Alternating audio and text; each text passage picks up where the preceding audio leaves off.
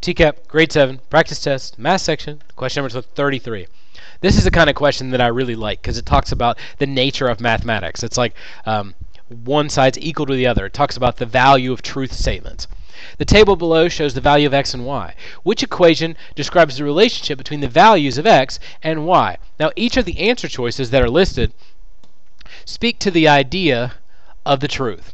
This says y is equal to 2x. Now, if I can plug in values for x out of this column, and they equal the y values in this column once I manipulate them in whatever way, so in A you'd multiply them by 2, then I have true statements. So what I'm going to do is rewrite the problem as y is equal to 2, and then I'm going to put parentheses. I'm going to plug in my values for x and see if they equal the y's that they're supposed to.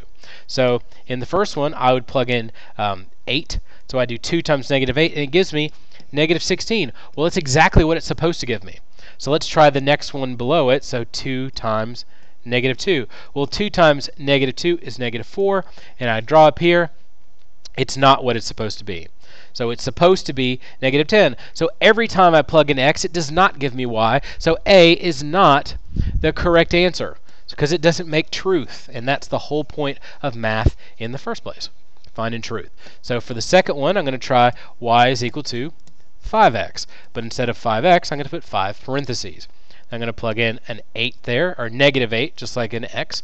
5 times negative 8 is negative 40, and it should be right there. It's not. So B is also not the correct answer. So I'm going to have to go down to C and see if I can get some truth down here. Y is equal to parentheses plus 8.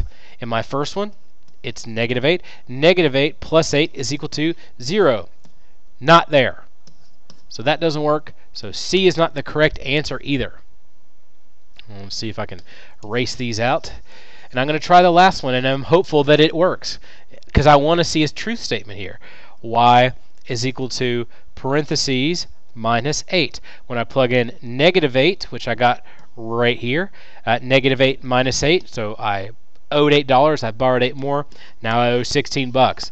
That's exactly what that statement says it should say. In the next one, negative or parentheses, I got ahead of myself. Shouldn't do that. Parentheses, negative 2 minus 8. I owed $2, I borrowed 8 more, now I owe $10. That's exactly what it says. I'm going to move up here to do the next one. Uh, in this case, I'm plugging in 4 inside my parentheses. 4 minus 8 gives me negative 4. I had $4, borrowed 8, now I owe 4. Perfect. And the last one, y is equal to parentheses minus 8. And the parentheses this time would be a 10. 10 minus 8 is positive 2, which is exactly what I should get. So basically, I'm just plugging in my x's, and once they all work, I can say that D does make a true statement. Every time I plug in an x, I get the y that I expect, so that makes that answer correct.